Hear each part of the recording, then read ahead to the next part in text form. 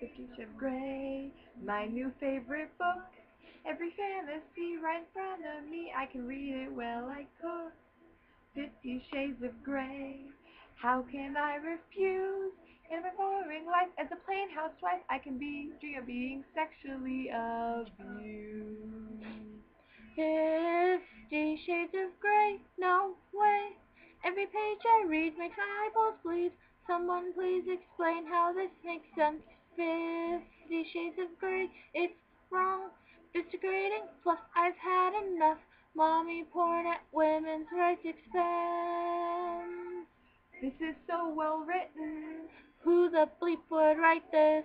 Every word describes exactly how I wanna feel within. What a bad example for Every girl should read this book. I just hope that men don't get the wrong ideals from reading.